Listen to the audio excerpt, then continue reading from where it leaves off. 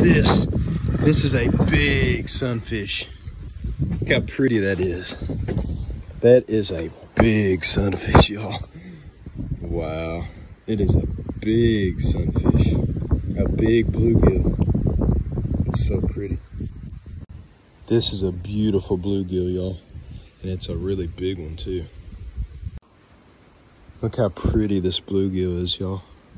You can see its gill right there. That is so pretty. Look at that bluegill, y'all. This is a very beautiful bluegill. And it's a really big bluegill too. Jesus blessed me with a really good fish, really big fish.